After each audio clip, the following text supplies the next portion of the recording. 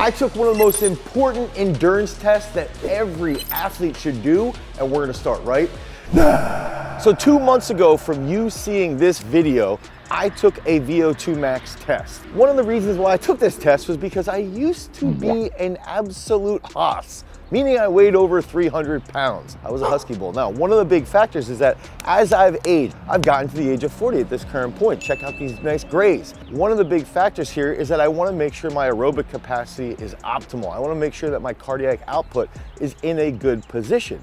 And that brings us to that VO2 max. One of the big factors is I invested in this sweet Garmin and I wanted to look at my telemetric devices and figure out what is actually going on? How can I listen to someone like Peter Attia who says VO2 max is the most important aspect around longevity or around having a good lifespan?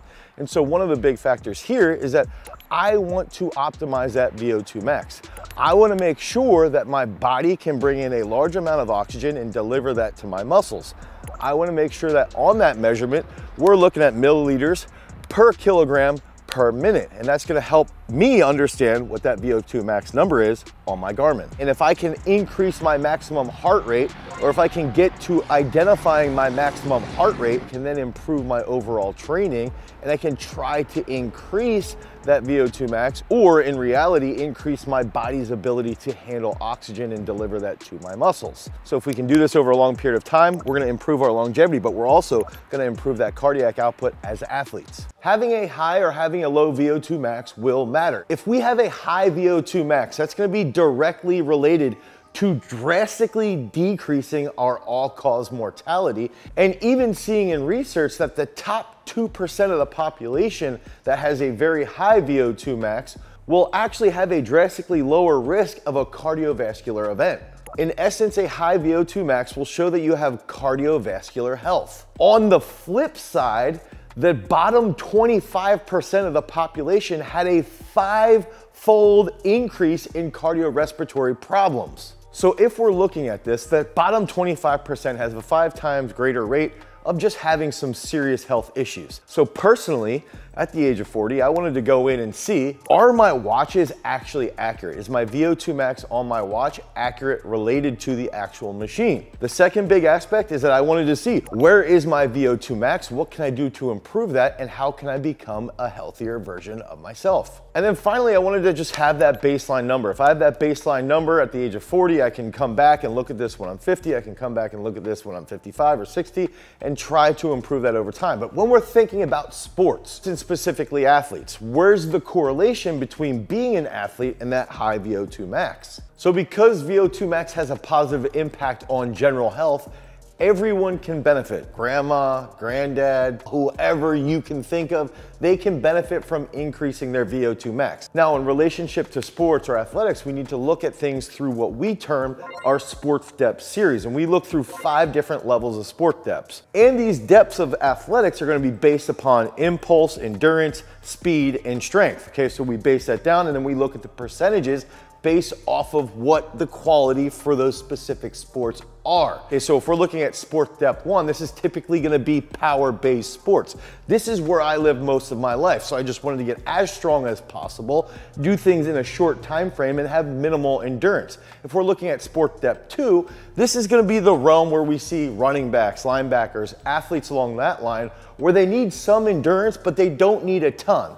What that does then is it takes us into sport depth three through five. And that's where we're gonna see VO2 max have a massive positive impact. Depth three is considered the keystone depth, okay? And this is typically where we see interval-based work really paying off big time. Think about wrestlers, think about MMA. Okay, that's gonna be sport depth three. Sport depth four is gonna take us into that continuous go. Think about soccer, lacrosse, field hockey. That's the sport depth where we really, really start to see VO2 max have a big impact. And then finally, sport depth five is where endurance is going to play a major role. This is where we see that sport depth five being the great distance. This is gonna be where we think about distance runners, long distance swimmers, marathoners, okay? So if we can impact our VO2 max, we'll be able to execute these long distances at a faster tempo. Now having all this information gives us the importance in the background behind the actual test and how it can help you as an athlete. But what actually is the test and why was I feeling so much anxiety around taking the actual test? 146 over 86. It's pretty high right now. It's a lot higher than it should be. Dude, I'm definitely nervous. Oftentimes when you're taking the VO2 max test, there's a couple different things that you can do. You can either get on a bike or you could get on a treadmill and they're going to place this massive mask with a huge tube around you that then connects into a machine and measures your input of oxygen and measures how much oxygen is going in and how much carbon dioxide is coming out. Now, in our specific test, we were using a VO2 Master, and I'm gonna provide a link down below in the description that you can click on to go check out that VO2 Master. This is a lot simpler machine, and it is extraordinarily accurate in comparison to even just having the oxygen tube. You put the mask on your face and it's extraordinarily tight. You start to feel like you're Bane essentially while you're masked up. And one of the aspects there is that you almost feel a little claustrophobic or like you're being suffocated to a point, but after a little while, you do start to get a little bit more comfortable. It's not that bad. It's like a little pinchy on my nose. Like I, I feel more claustrophobic when I get my blood pressure drawn. It's amazing how like suctioned it is. Yeah, how up in your face it is. And so again, that mask will then measure how much oxygen is coming in, how much CO2 is being expressed as we work through this entire test and we elevate our heart rate to try and get to that max heart rate. So we're really going to be essentially pushing to failure. On top of that, I wanted to test well. I wanted to do as well as I possibly could and possibly beat Earl's score where he scored a 49.8. Now, as I was running on the test, I felt as though I was running quickly. Watching the video, I clearly was not. The thing that actually happens then is that every two minutes they raise the elevation of the treadmill. So by the time you get to eight to 10 minutes to 12 minutes, you're running at a pretty steep incline. So that makes it a lot harder to execute at that same speed. And in turn, your heart rate starts to skyrocket. Essentially, I got to the point where I personally felt like my legs were gonna fall off. 17. I'm good. All right, man. You did good. Thanks. Uh, Damn, I thought you had more in him. I was going to take pictures. and then it was over. It was pretty awful, but I did survive. So how was the test? I think the test actually was pretty worth it.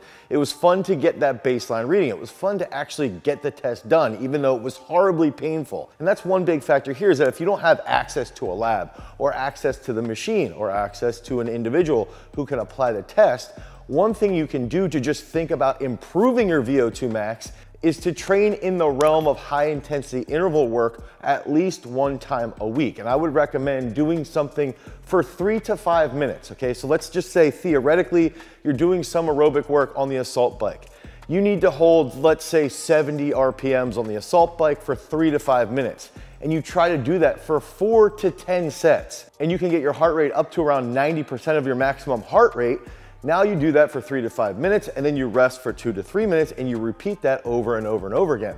The problem here is that intervals is really where you're gonna be at when you're trying to build that VO2 max but you also have to recover from that interval based work. So over a long period of time, if you're doing too much interval work, it's gonna beat you down. But if you can find that sweet spot, it's going to really increase that VO2 max. So was it worth it to take this test? And more specifically, what were the results? So what was my test score? It ended up being a terrible 42, extremely mediocre, which is wild because I actually ran a marathon with a 42 VO2 max. I think the cool part here is that I can really look at what I need to do to improve my VO2 max. My Garmin still says I'm around 46 to 47, but we're gonna go based off the test. Also, I ended up getting a VO2 master because I want to test myself on the assault bike. I wanna test myself when I'm running, and I wanna test myself on the rower and see what actually happens. Over a long long period of time. Ideally, I'd like to test myself quarterly, and I know that I'm gonna start to introduce more high intensity interval training. I'm gonna start to run more hills at higher clips, and I'm gonna do more assault bike work where I'm doing like the Rønnestad protocol to try and increase that VO2 max long term. And fortunately for me, I do have my Garmin, which shows me my maximum heart rate. It shows me my heart rate when I'm training, so I can sort of use that as a guide when I'm doing that high intensity interval work. Now, for you guys, if you're interested in improving your VO2 max, Peak Strength, our strength training app, is undergoing some freaking awesome renovations. We're improving our overall programming and we're increasing the amount of impulse work, speed work, and endurance-based training. So head over to peakstrength.app, the Google Play Store or the Apple iOS Store, and you can download Peak Strength today and select the specific program type that you want so that you can train to become a freak. Because remember, freaks, if you want to become a champion, you've always got to cultivate your power. Peace.